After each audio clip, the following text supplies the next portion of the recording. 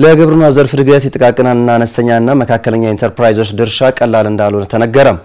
ይሁንና የፋይናንስ አቅርቦት ችግር በሚፈለገው ልክ ውጤት ሊያመጣ እንዳልቻለም ተገልጿል። የተባለው የኢትዮጵያ ግብርና ትራንስፎርሜሽን ኢንስቲትዩት ከግብርና ሚኒስቴርና ከብሔራዊ ባንክ ጋር በጋራ በመሆን የፋይናንስ አቅርቦት ላይ ሀገር አቀፍ ውይይት እየተደረገ ባለበት ወቅት ነው። መድረኩ የክልልና የፌዴራል ከፍተኛ አመራሮች፣ የመንግስትና የግል የገንዘብ ተቋማት እንዲሁም የልማት አጋሮችም እየተሳተፉበት ይገኛል። በዚህ ጉዳይ ላይ ተጨማሪ መረጃ ሊያደርሰን ባልደረባችን ታሪኩ ለገሰ በቀጥታ መስመር ላይ አግኝተነዋል። ታሪኩ፣ በውይይቱ ላይ የተነሱ ሀሳቦች ምንድን ናቸው?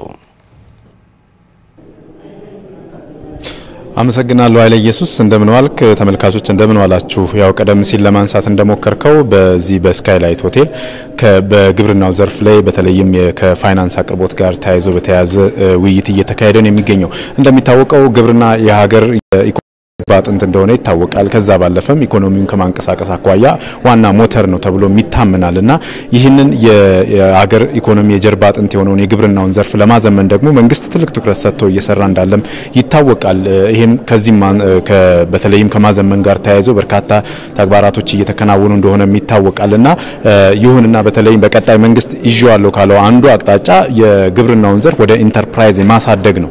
ኢንተርፕራይዞች በግብርናው ዘርፍ ላይ ተሰማርተው በተለይም ይሄ የከፍተኛ የሆነ የስራ አንዱ ዘርፍ ሆኖ እንዲያገለግልና የስራ ዘርፍ ሆኖ እንዲሰማሩበት ከማድረግ አኳያ ወደፊት ትልቅ ትኩረት ተሰጥቶት እንደሚሰራበት እንቅስቃሴ ላይ እንዳለ ይታወቃልና ይሁንና ምንም እንኳን ግብርናው የሀገር ኢኮኖሚ የጀርባ አጥንት ቢሆንም እንዲሁም ደግሞ መንግስት በቀጣይ አቅጣጫ ይዞ ወደ ኢንተርፕራይዝ የማሳደግ እሳቤ ቢይዝም ከገንዘብ አቅርቦት ጋር ተያይዞ ግን የሚነሱ በርካታ ችግሮች አሉ።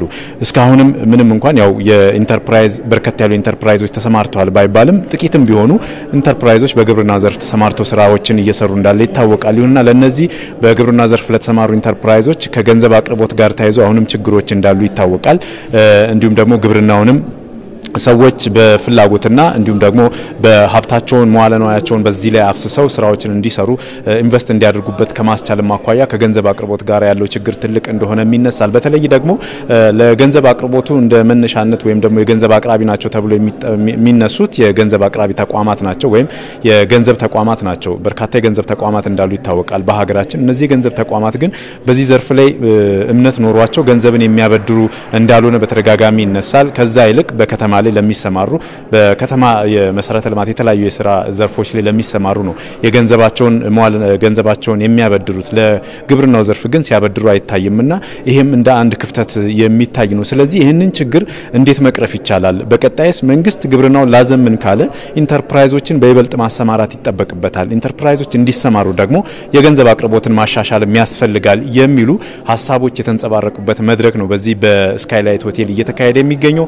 በመድረክ ውይይቱ ላይም እንግዲህ በርካታ የገንዘብ ተቋማት እንዲሁም የልማት አጋር ድርጅቶች የመንግስት የፌዴራልና የክልል ከፍተኛ አመራሮችና የብሔራዊ ባንክ ገዢ ምክትል ገዢም እንዲሁም ደግሞ የግብርና ሚኒስቴርና ሌሎችም ባለድርሻ አካላት እየተሳተፉበት የሚገኝ ውይይት ነው። በዚህ ውይይት ላይ ምን ችግሮች አሉ፣ ምን መልካም እድሎች አሉ፣ እንዴትስ እነዚህን ችግሮች ፈተን መልካም እድሉ እንዴት መጠቀም ይቻላል የሚሉ በርካታ ተሞክሮዎችም ተነስተዋል። ለምሳሌ የአነስተኛና መካከለኛ እንዲሁም ጥቃቅን አነስተኛና መካከለኛ ኢንተርፕራይዞች በሌሎች ሀገራት ያላቸው በኢኮኖሚ ላይ ያላቸው ሚና ምንድን ነው የሚልም ጥናቶች ቀርበው ነበረ። ለምሳሌ እያደጉ ባሉ ሀገራት እነዚህ ጥቃቅንና አነስተኛ መካከለኛ ኢንተርፕራይዞች በሀገር ኢኮኖሚ ላይ ከ55 በመቶ በላይ ድርሻ አላቸው። በተለይ በሀገር ምርት እድገት ውስጥ ማለት ነው ድርሻ እንዳላቸው ይታመናል።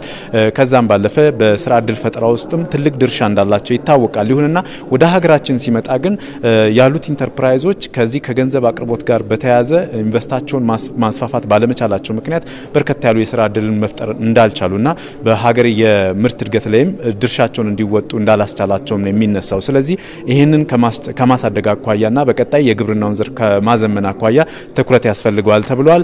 የሚመለከታቸው አካላት እዚህ በመምጣታቸውም እንግዲህ በተለይ የግብርና ሚኒስቴር በቀጣይ የአርሶ አደሮችም ሆኑ በዘርፉ ለሚሰማሩ ኢንተርፕራይዞች የብድር አቅርቦት ለማመቻቸት የሚያስችሉ የተለያዩ ጥናቶችን እያካሄደ እንደሚገኝም አንስቷል።